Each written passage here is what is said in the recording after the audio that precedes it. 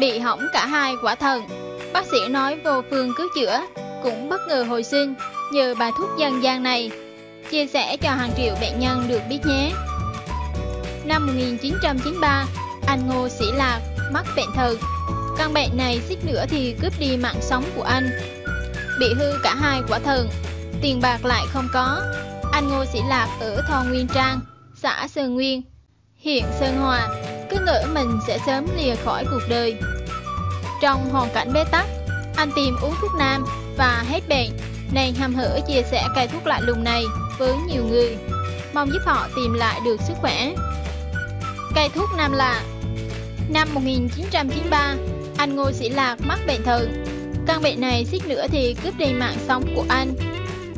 Tôi điều trị ở bệnh viện tại Phú Yên, vô bệnh viện thành phố Hồ Chí Minh, rồi ra bệnh viện ở Vinh, Nghệ An. Bác sĩ đều nói cả hai quả thận bị hư, tôi phải ghép thận nếu có tiền.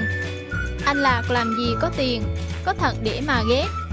Năm 1984, từ Diễn Châu, Nghệ An, anh đến huyện miền núi Sơn Hòa lập nghiệp, rồi anh đi bộ đội sang chiến trường Campuchia, bị bệnh sốt rét hành hạ. Anh lạc xuất ngũ một năm sau đó. Trở về Sơn Hòa, anh lập gia đình, hai vợ chồng mưu sinh trên rẫy. Đến khi anh lạc ngã bệnh, vợ chồng anh phải chuyển nhượng 1,5 hecta đất rẫy để chạy chữa thuốc thang. Không có tiền ghép thận, anh đành buông xuôi, mặc cho số phận. Anh được đưa về nhà và bị căn bệnh quái ác hành hạ, dẫn đến phù, co rút hai chân, không thể đi được. Khi đó, người đàn ông sinh năm 1967 này yếu đến mức được vợ và bạn dìu hai bên, cũng không còn sức để đứng dậy. Cứ ngỡ mình sẽ chết, thì ngày nọ, anh Lạc hay tin ở Tuy Hòa, có một người đào vàng bị hư cả hai quả thận, bệnh viện chê trả về. Rồi bệnh nhân đó uống thuốc của một người dân tộc thiểu số ở Phú Túc, Krongpa, Gia Lai và khỏe mạnh trở lại. Như người sắp chết đuối, vớ được cọc, anh Lạc nhờ em trai lên Phú Túc lặn lội tìm người đàn ông kia để mua thuốc. Em tôi mua được hai khúc cây, mỗi khúc dài khoảng nửa mét, to bằng cổ tay, với giá 150.000 đồng. Về nhà vạt mỏng, rang vàng hạ thổ, rồi nấu sôi kỹ để tôi uống thay nước. Đêm đó, sau khi uống hết ấm thuốc đầu tiên, tôi rất mệt. Nhưng sáng hôm sau thì thấy đỡ nhiều. Tôi liền bảo em lên túc mua thêm thuốc. Uống đúng một tháng thì khỏe. Tôi đi siêu âm lại. Bác sĩ bảo, thận không có vấn đề gì. Anh Lạc tươi cười, kể về chuyện mình đã thoát khỏi căn bệnh một cách kỳ diệu. Chia sẻ niềm hy vọng. Khỏi bệnh, anh Lạc vô cùng tò mò muốn biết cây thuốc gì đã giúp mình bước qua cửa tử nên đem khúc cây đến gặp nhiều người dân tộc thiểu số sống ở địa phương để tìm hiểu.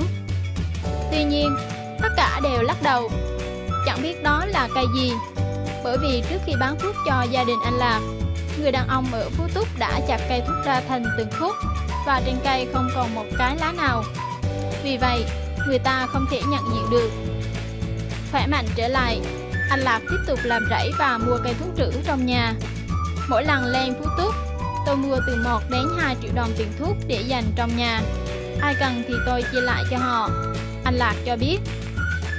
Cách đây 3 năm, anh Cao Văn Thiền ở thôn Nguyên Trang, đồng hương với anh Lạc, mắc bệnh sốt rét, sau đó tiểu ra máu rất nhiều. Anh Thiền đến bệnh viện khám thì được khuyên nhập viện để điều trị. Lúc đó vợ tôi cũng bệnh, đang lúc mùa màng mà gia đình lạ neo người nên tôi không nhập viện anh Lạc hay tiên đưa cho tôi một khúc cây, bảo về sắc uống thử. Tôi uống vào thấy đỡ, nước tiểu trong trở lại.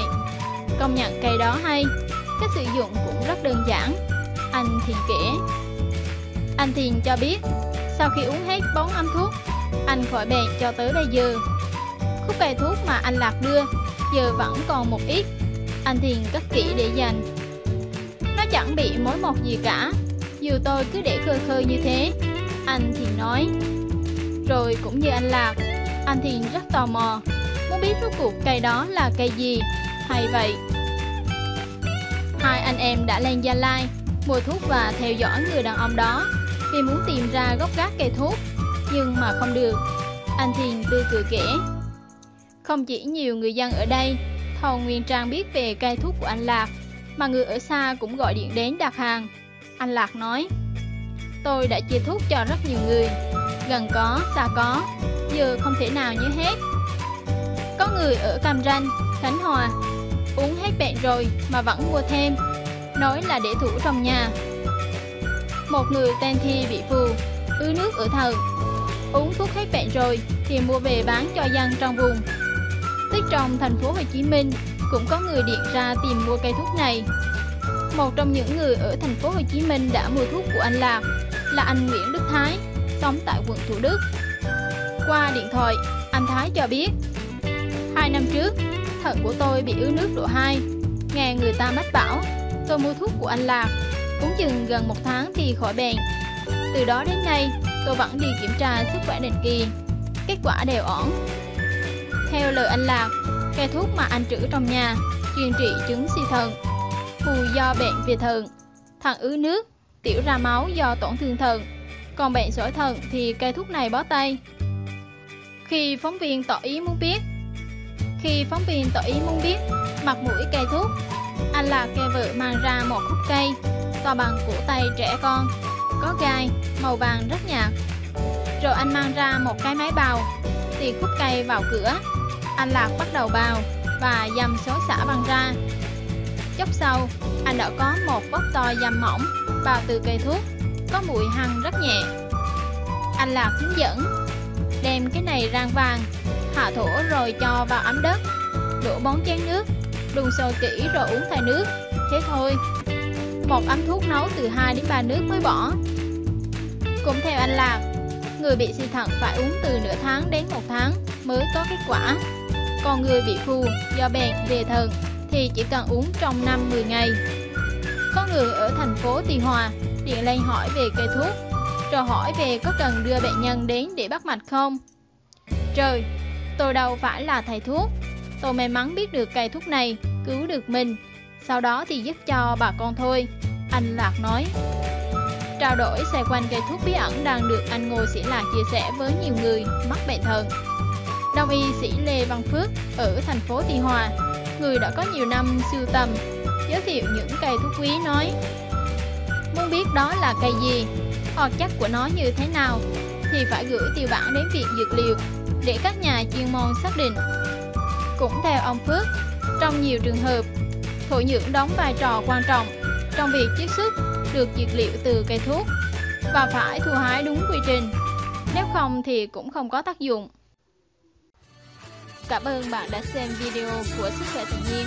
Hãy like, comment và đăng ký kênh bạn nhé. Vì sức khỏe người Việt.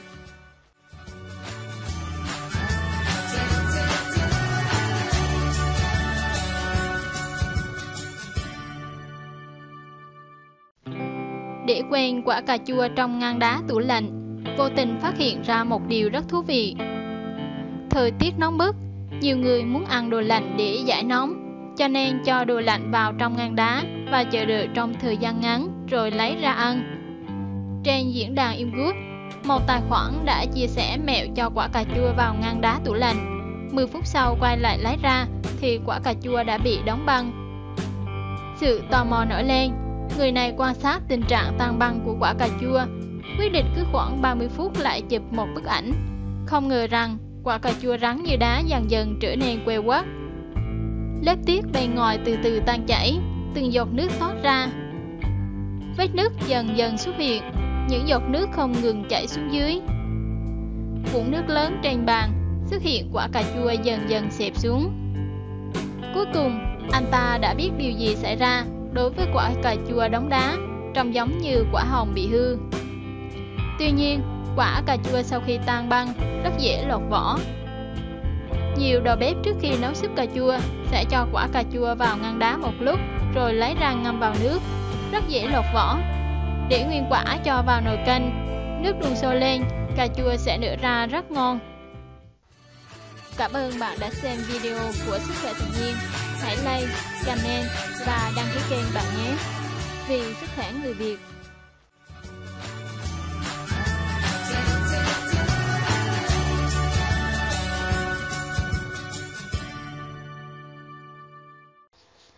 Quá sốc và sung sướng khi rau chùm ngay có thể tiêu diệt 93% tế bào ung thư phổi sau 48 giờ.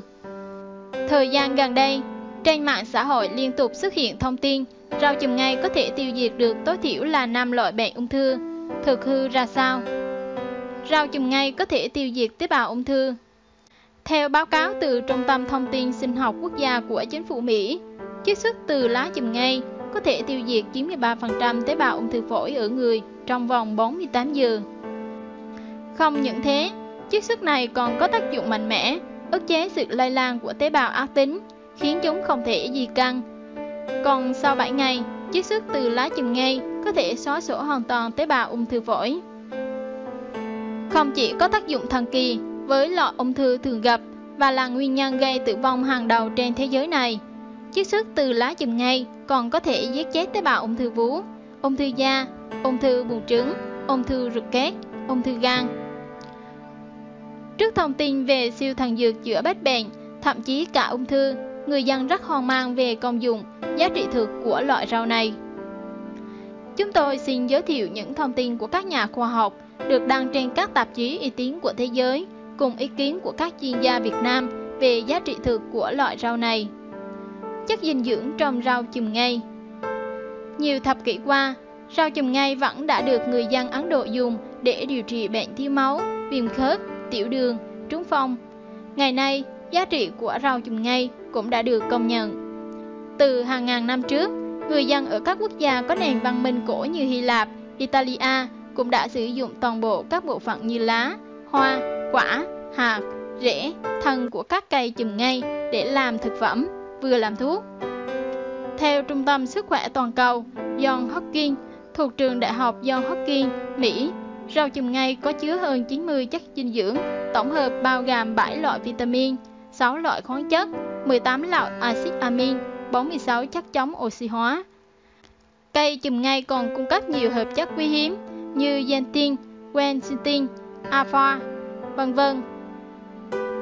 Không những thế, loại rau này còn giàu các chất chống viêm nhiễm, các chất kháng sinh, kháng độc tố, các chất giúp ngăn ngừa và điều trị ung thư, u xơ tiền liệt tuyến, giúp ổn định huyết áp, hạ cholesterol, bảo vệ gan.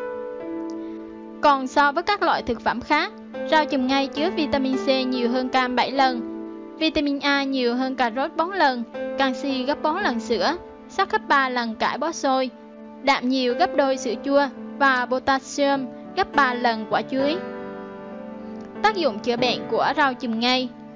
Phòng bệnh ung thư. Lá chùm ngay có chứa 46 loại chất chống oxy hóa, đặc biệt là vitamin C và vitamin A, vốn giúp trung hòa các tác động tàn phá của các gốc tự do. Hợp chất xanthin với năng lượng chống lão hóa mạnh mẽ, trong chùm ngay cao gấp vài ngàn lần so với bất kỳ một loại cây nào. Thêm vào đó, chùm ngay cũng có hai loại hợp chất phòng ung thư và chặn đứng sự tăng trưởng của khối u, khiến cây được mệnh danh là loại cây phòng ung thư. Vì vậy, muốn phòng ngừa bệnh ung thư và các bệnh thái hóa như thái hóa điểm vàng và bệnh sơ nang, đừng bỏ qua loại thực phẩm cực tốt này. Hạ mức đường huyết Rau chùm ngay có khả năng hạ mức đường huyết do chứa những hợp chất đặc biệt trong lá.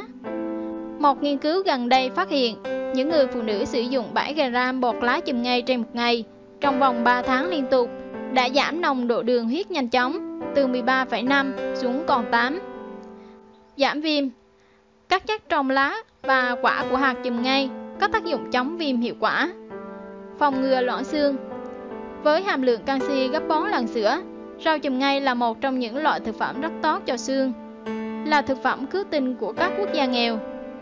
Tổ chức Y tế Thế giới WTO và Tổ chức Nông lương Thế giới FAO đã xác nhận giá trị của cây chùm ngay và đánh giá loại cây này như một loại lương thực cứu tinh của các quốc gia nghèo. Làm sạch nước Ở một số vùng ô nhiễm của các quốc gia nghèo thuộc châu Á, châu Phi, hạt chùm ngay thường được nghiền nát hòa với nước nhằm loại bỏ các chất cặn bã có trong nguồn nước. Ngoài ra, chất dầu cay trong hạt cũng có tác dụng sát khuẩn, nên sử dụng nguồn nước này rất an toàn cho sức khỏe con người. Giáo sư Nguyễn Lân Hùng, Tổng thư ký Hội các ngành sinh học Việt Nam, rau chùm ngay có thể phòng nhiều bệnh, trong đó có bệnh ung thư. Cây chùm ngay không chỉ cung cấp dinh dưỡng, làm thuốc mà còn là nguyên liệu để sản xuất mỹ phẩm. lá được dùng làm rau, nấu canh, làm sinh tố. Theo giáo sư Hùng, đây là loại rau thích hợp với những vùng đất hay có hạn hán, khô cằn vì cây rất dễ sống nhưng không phải là loại thần dược. Chùm ngay còn có tác dụng bồi bổ sức khỏe, tăng cường chất xơ, đặc biệt là loại rau này không phải phun thuốc trừ sâu. Rau có thể phòng rất nhiều bệnh như ung thư, tiểu đường, thiếu máu, còi xương, gan, tim mạch, ung lét, còi giật, giúp hạ huyết áp, cholesterol, chống oxy hóa. Tuy nhiên, giáo sư Hùng cho biết, nó giống như các loại rau khác, đó là tăng chất xơ và vitamin E. Đây là hai thành phần cực kỳ quan trọng cho hoạt động của cơ thể. Từ xa xưa, người ta đã có câu, cơm không rau như đau không thuốc, nên ăn nhiều rau đều tốt. Tuy nhiên, việc chùm ngay được thổi phồng, chức năng để nâng giá bán, người tiêu dùng cũng cần cân nhắc. Giáo sư Mai Trọng Khoa, Giám đốc Trung tâm Y học hạt nhân và ung bướu Bệnh viện Bạch Mai, mọi bệnh nhân có thể ăn vì đây là khả năng giúp tăng cường sức khỏe. Giáo sư Mai Trọng Khoa cho biết, không có loại rau nào điều trị được bệnh ung thư.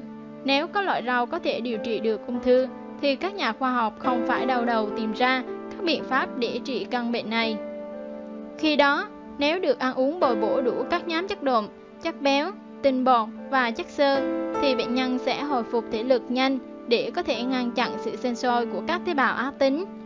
Có bốn phương pháp điều trị ung thư được y học hiện đại công nhận, đó là phẫu thuật, xạ trị, hóa trị, nhắm trúng đích. Tuy nhiên, các phương pháp này đều gây tác dụng phụ, khiến bệnh nhân suy giảm miễn dịch, không ăn được. Đây chỉ là loại rau và tất cả bệnh nhân đều ăn được, nên không phải đắn đo khi ăn. Quan trọng nhất, đây vẫn chỉ là biện pháp tăng cường sức khỏe cho cơ thể. Cảm ơn bạn đã xem video của Sức khỏe tự nhiên. Hãy like, comment và đăng ký kênh bạn nhé. Vì sức khỏe người Việt.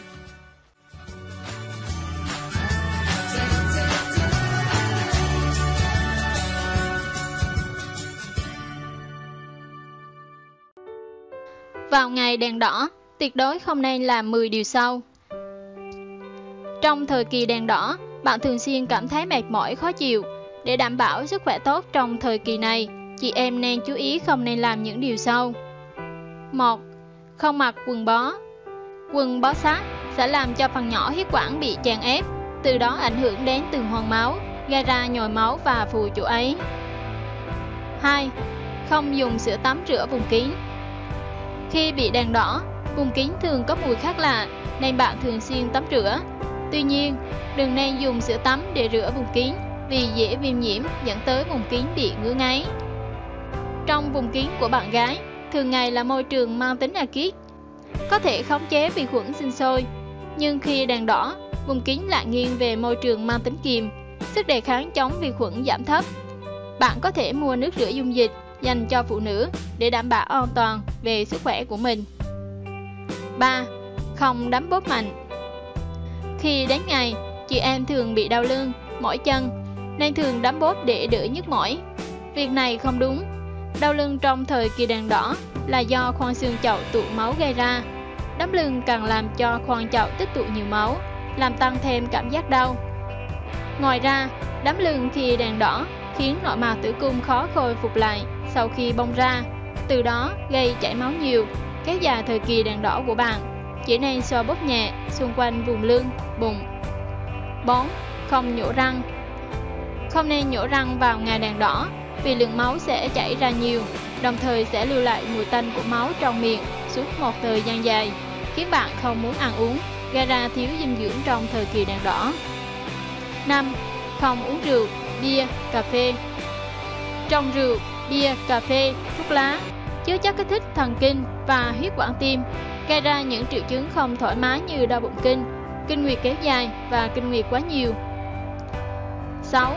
Không đi khám sức khỏe Trong thời kỳ đèn đỏ, không nên đi khám nước tiểu và khám phụ khoa, cũng không nên kiểm tra máu và điện tâm đồ, vì lúc này bạn bị ảnh hưởng của hormone bài tiết nên khó có được kết quả chính xác. 7.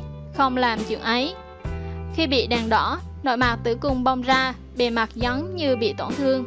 Nếu yêu vào lúc này, dễ làm cho vi khuẩn xâm nhập vào, gây ra viêm nhiễm trong tử cung. Làm chuyện ấy trong ngày này rất dễ mắc các bệnh về phụ khoa đấy. 8. Không tắm nhiều Trong ngày đèn đỏ, bạn không nên tắm quá nhiều vì có thể gây ra những viêm nhiễm đặc biệt. Khi đèn đỏ, nội mạc tử cung tách ra, miệng tử cung hơi mở, kinh nguyệt lưu lại trong âm đạo. Đây là cơ hội tốt để cho vi khuẩn lây nhiễm và sinh sôi nảy nở. 9. Không sử dụng một miếng băng vệ sinh quá 4 tiếng. Hầu như chị em chỉ thay băng vệ sinh khi miếng băng đã đầy dịch. Như thế không tốt đâu nhé. Khi dịch ở băng vệ sinh tồn tại quá lâu sẽ làm phát sinh các loại nấm. Vi khuẩn dễ gây ra hiện tượng viêm nhiễm âm đạo của bạn đấy. Tốt nhất nên chọn cho mình một loại băng vệ sinh phù hợp và thay thường xuyên, cách nhau 3 đến 4 tiếng đồng hồ. Sau mỗi lần thay băng vệ sinh, bạn nên chú ý vệ sinh thật cẩn thận để tránh viêm nhiễm. 10. Không làm việc quá sức Trong những ngày có kinh, cơ thể bạn luôn trong trạng thái mệt mỏi, mất sức. Bạn cần chú ý sắp xếp thời gian, công việc sao cho hợp lý, không nên vận động mạnh. Nếu cảm thấy mệt, hãy nghỉ ngơi. Làm việc nặng sẽ làm cho kỳ kinh nguyệt của bạn kéo dài hơn, máu kinh ra nhiều, đau bụng kinh nhiều, mệt mỏi hơn. Chúc chị em luôn có cách bảo vệ sức khỏe của bản thân thật tốt, đặc biệt trong những giai đoạn nhạy cảm của chị em phụ nữ chúng mình. Cảm ơn bạn đã xem video của Sức khỏe tự nhiên. Hãy like, comment và đăng ký kênh bạn nhé.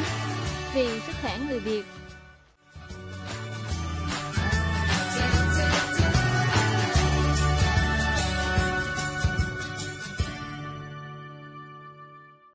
Sai lầm ta hại khi nấu cơm không phải bà nội trợ nào cũng biết. Các mẹ hãy cùng tham khảo nhé. Nấu cơm tưởng chừng như một việc đơn giản hàng ngày, nhưng nấu như thế nào để giữ được chất dinh dưỡng và có lợi cho sức khỏe thì không phải ai cũng biết. Dưới đây là một số sai lầm khi nấu cơm bạn nên chú ý. Nấu cơm bằng nước lạnh là vô cùng phổ biến, có tới 90 đến 10 bà nội trợ sử dụng cách làm này. Nhưng các bạn có biết không, khi sử dụng nước lạnh để nấu cơm thì những hạt gạo sẽ bị trương lên, các chất dinh dưỡng bị nở ra, tan vào nước. Hơn nữa, những nồi cơm nấu bằng nước lạnh cũng thường sẽ không được ngon miệng vì cơm thường bị nát, vì gạo bị trương. Vì vậy, hãy thay đổi cách sử dụng nước nấu cơm bằng nước nóng để giữ lại dinh dưỡng trong gạo, có nồi cơm thơm, dẻo và ngon miệng hơn. Không rửa tay trước khi vo gạo. Bàn tay của chúng ta luôn luôn chứa đầy vi khuẩn nếu chúng ta không rửa sạch sẽ thường xuyên. Theo một nghiên cứu, thì có tới 1.500 con vi khuẩn trú ngụ ở lòng bàn tay của bạn. Nếu không làm sạch tay trước khi vo gạo, thì việc truyền vi khuẩn từ tay đến món cơm của chúng ta là rất cao. Nó sẽ là điểm trung chuyển những nguồn bệnh lây nhiễm cho bạn khi chế biến thực phẩm và vo gạo đấy. Vo gạo quá kỹ Chúng ta thường gọi cách trà sát gạo là vo gạo. Thực chất, đây là cách làm sai lầm, thiếu khoa học và phần nước đục ấy lại chứa nhiều chất dinh dưỡng nhất. Theo các chuyên gia, việc trà sắc gạo này đã vô tình lấy đi một lượng lớn các vitamin và khoáng chất bám bên ngoài hạt gạo, làm hạt gạo chỉ còn lại phần lõi là tinh bột mà thiếu đi glucid, protein, lipid, chất khoáng, vitamin B1, B2 và B6. Ngâm gạo trước khi nấu cơm Để tiết kiệm thời gian, mọi người thường ngâm gạo trước khi nấu cơm. Việc ngâm gạo trong nước sẽ làm cho hạt gạo bị trương, khiến cho các chất dinh dưỡng bị hòa tan trong nước. Lúc này, hạt gạo sẽ không còn giá trị dinh dưỡng nữa.